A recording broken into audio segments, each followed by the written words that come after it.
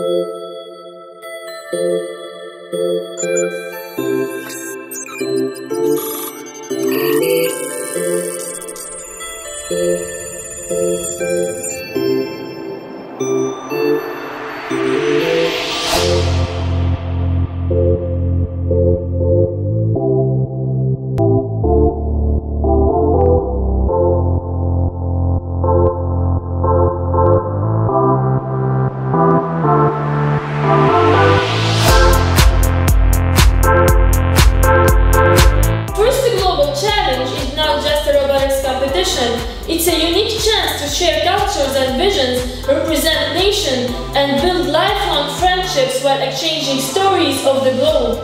Participating in First Global Challenge is a chance to take part in solving our world issues by bettering our communities through the energy impact. It is also a chance to apply different levels of skills in creating sustainable success and using robotics in a positive way. Our mission now, as a national team representing Tunisia at 17 years old Olympic Games of Robotics, First to Global, is to honor our country first, give back to people who believed in us second, and finally show the world what the future generation of Tunisia is able to achieve.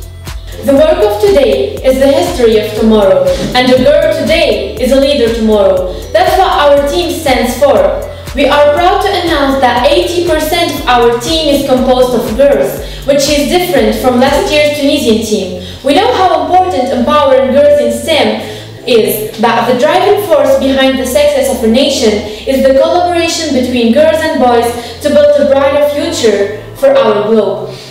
Finally, our mission won't stop here, because upon return home, we will work hard to apply all the skills and knowledges earned during this unique experience in creating a huge impact in our community by transmitting them to both the Tunisian youth and the 2019 team, inshallah.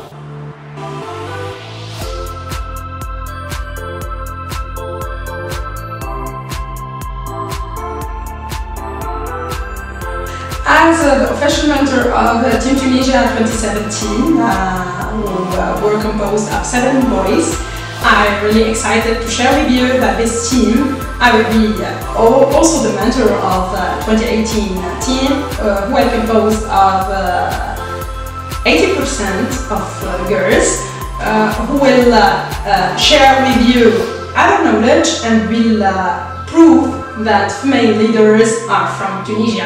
Thank you.